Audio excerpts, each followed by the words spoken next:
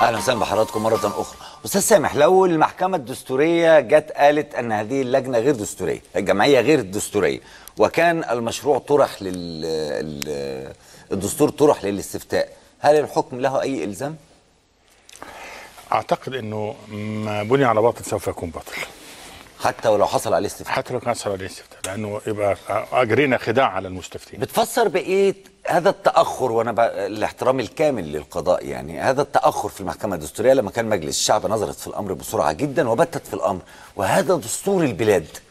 هذا التأخر في المحكمة الدستورية بتعتقد التفسير القانوني ليه إيه؟ لا لا هو نفس الحد على فكرة. هي ما تقدرش قبل 45 يوم وده اتعمل أيضا في بس لا عدى ال لا 45 لا يوم كانوا على 45 يوم. هما إحنا كنا كانت ال- الخصوم بيروا انه يعني ليه ليه 45 يوم ده المحكمة الدستورية بتقعد بالسنين عشان تنظر نعم. ده كان رأيهم.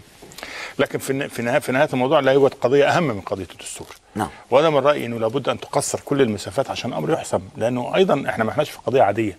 يعني تحتمل إنه إنه أعضاء الجمعيه التاسيسيه يردوا المحكمة ويعطلوا المحكمة ويطلبوا أجل الاطلاع ويعملوا خصومة وواحد يتدخل وواحد يخرج. ده في القضاء الإداري. ده في القضاء الإداري عشان يعطل الفصل كما كما لو كنا في قضية نفقة. ده كلام لا يليق من دولة إنها تتعامل على القضايا الكلية الجوهرية الأساسية بهذا بهذا المنطلق وبهذا الأمر. وعلشان كده الامر الآن الكرة في ملعب الرئيس مرسي. تطلب إيه من الرئيس مرسي؟ يعني شايف رئيس مصر يجب أن يفعل إيه في مثل هذا الموقف أمام جمعية تاسيسيه اختارها البرلمان منظورة أمام القضاء هحترم أحكام القضاء إذا طلعت الأحكام القضاء لسه ما طلعتش. لا عندما عندما تصطدم كل ال ال ال المكونات ال ال الأساسية التي قامت عليها هذه الجمعيه التاسيسيه، الجمعيه التاسيسيه قائمة على قبول الناس لها على توافق المجتمع عليها، عندما يثبت له أنه أنها غير متوافقة.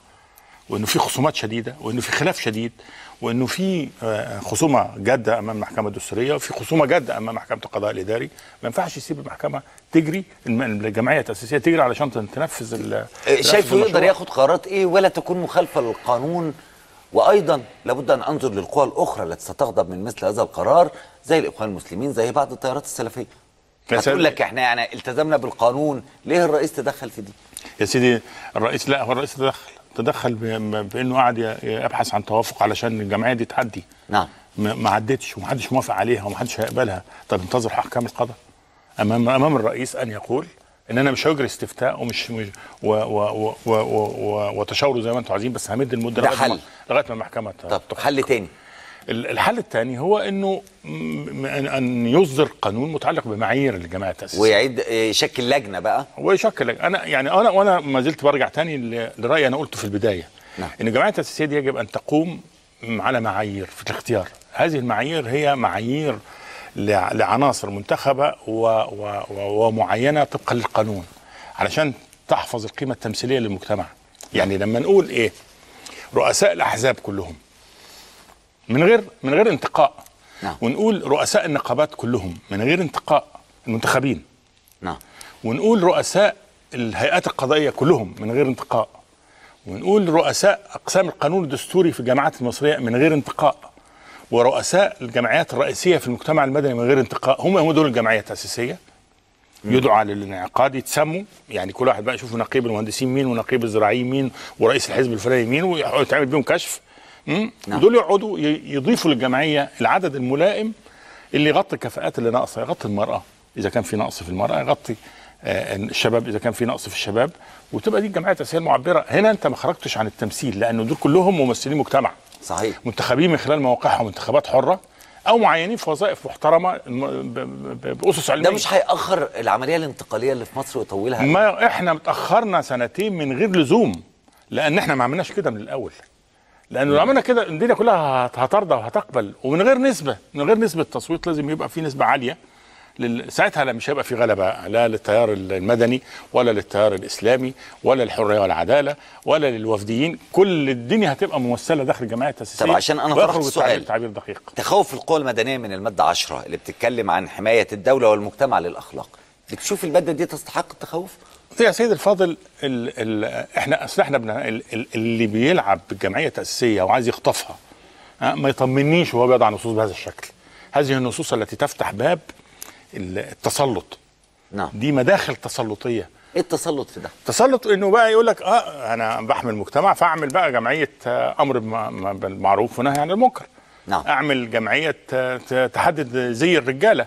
وتحدد زي الستات وتحيد ده اللي هي رقابة المجتمع بقى. يعني يعني هنخش في تفاصيل هتستمد قداستها من النص الدستوري واطعم بقى ده مع- أو أو أو, أو خش في إجراءات تقاضي. أنت ليه تدخلني في دوامة من الأول؟ ليه تحط نصوص بهذا الشكل؟ حماية المجتمع موجود القانون هو اللي بيحمي المجتمع. طبعا. حط قانون صح. كل الناس هتمشي عليه كل الناس هتلتزم عليه. إنما أنت تقول لي آه، تفرض عليا قوامة وبعدين قوامة من مين؟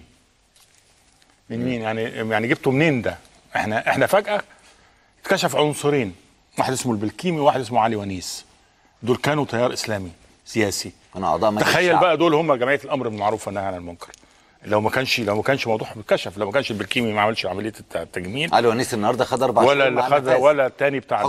الشارع ده آه. لو ما كن... لو ما كناش عرفنا يعني وكانوا جم مسكوا جمعية الأمر بالمعروف والنهي عن المنكر شوف مصر كان هيحصل فيها إيه. ده كانت بقى تفول كلها في الطريق العام وشغالة عربيات. أخيرا ضحكت أنت عندك أمراض نفسية زينا في الفترة الأخيرة دي؟ يعني بتكتئب و لا مش م- مش للدرجه مش لدرجة الاكتئاب لكن طبعا شيء آه، آه، يزهق شيء يخنق فعلا. وشيء يخلي ال- لأن لأن في النهاية طب آه، أنت- أنتوا عايزين إيه يعني؟ يعني أنتوا عايزين تاخدوا البلد يعني عايزين تخطفوها؟ مش هنسيبها تتخطف. مش هنسيبها تتخطف. مش عايزه كلام بشكر حضرتك جدا. شكرا نورتني. بكرة اللي عنده اكتئاب أو إحباط أو اتخنقنا أو زهقنا أو بيقول حتى مش هيسيبها معايا الدكتور أحمد عكاشة بكرة اللي عايز يقول آه يكلمنا. غدا حلقة جديدة من ممكن تصبحوا على خير.